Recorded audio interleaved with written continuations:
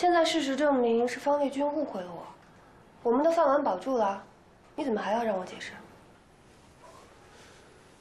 乔丽，我们都不是小孩子了，不要赌气可以吗？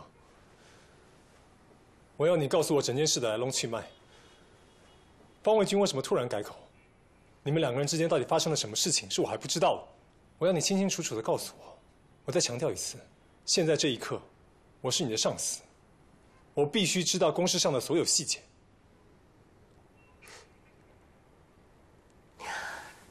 有意思。当时你让我给史蒂夫发邮件的时候，我也想要一个解释，解释一下我为什么要那么做。但是你说你是我的上司。是解决事情的，不是解释事情的。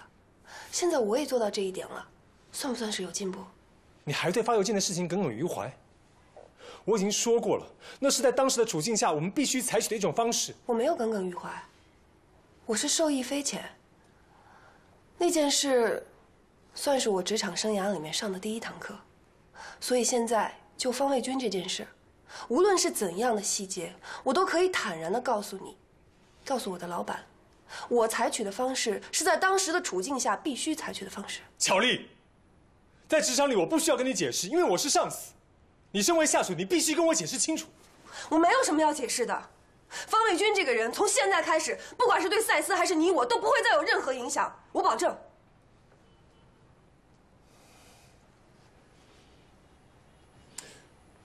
乔丽，你变了。你在精通这件事里陷得太深了。你把这个单子的成败看得太重了。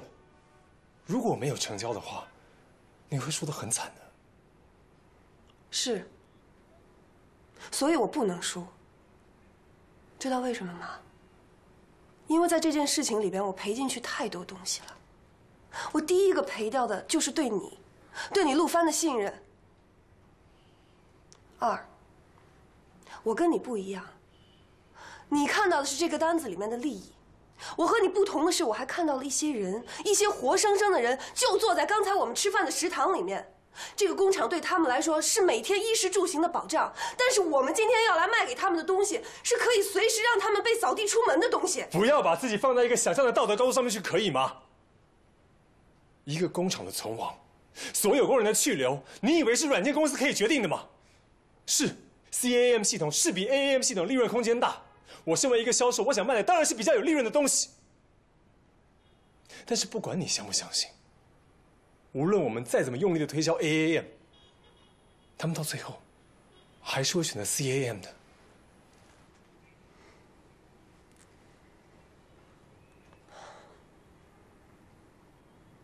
记得上一任总裁程一群离开赛斯的那个晚上，他问我：“乔丽。”你为什么想当一名销售？我告诉他，我想卖东西给需要他们的人。现在这个愿望越来越遥远了。乔丽，